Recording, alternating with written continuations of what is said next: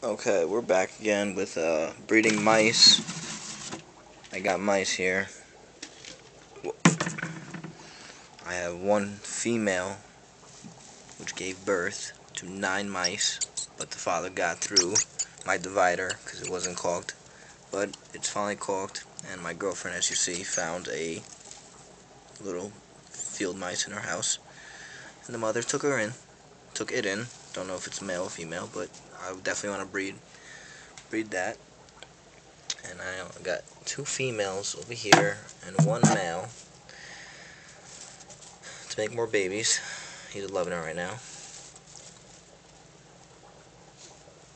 A little cheaper, you know, helps out. Especially because uh, I have one snake boa constrictor.